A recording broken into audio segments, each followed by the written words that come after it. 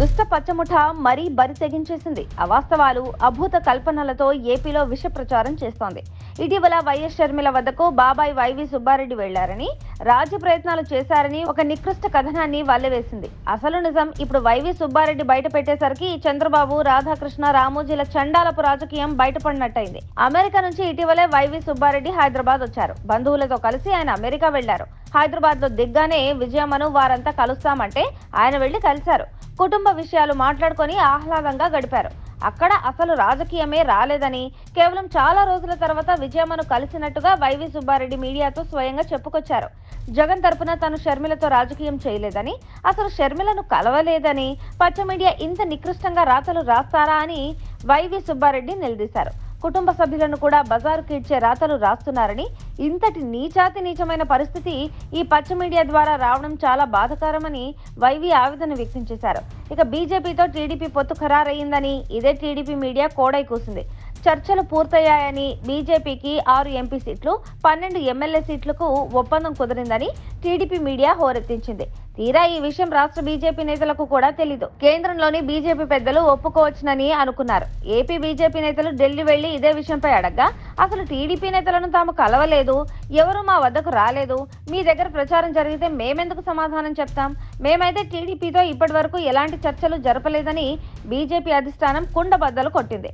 దీంతో ఇక్కడ TDP media ఎంతలా ఇటు బీజేపీని అటు వైసీపీపై దుష్ప్రచారం చేస్తుందో బయటపడింది. ఈ మేరకు ఆ వీడియో వైరల్ అవుతోంది. సీఎం జగన్ గారి ద్వారా మీరు షర్మిల గారికి మధ్యవర్తిత్వం చేస్తున్నారని ప్రచారం జరుగుతుంది. సైడ్ ఎవరి ద్వారా ఏ మధ్యత్వం జరిపే పని మేము చేయట్లేదు.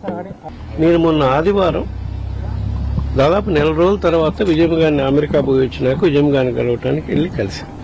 మేము ఏదో కుటుంబ విషయాలు మాట్లాడుకొని మళ్ళీ ఆరు గంటలు బయటకు వచ్చేసి వచ్చాం.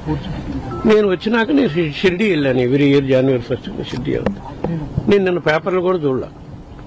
రాత్రి విజయవాడకు వచ్చినాక చూపించారు ఈ విధంగా. ఇంకా దీని పరాకాష్ట. కుటుంబ సభ్యులను కూడా బజార్కి కార్యక్రమం చేస్తున్నారు.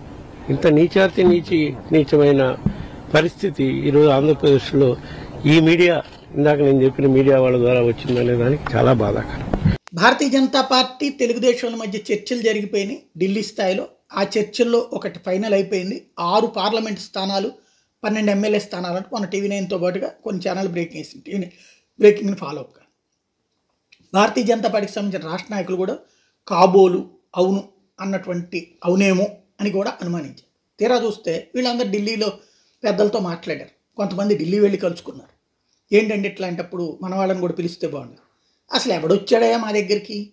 ఎవరిని కలిసామయ్యా మేము? ఇదంతా మీ దగ్గర ప్రచారం జరిగితే దానికి మేమేట సమాధానం చెప్తాం?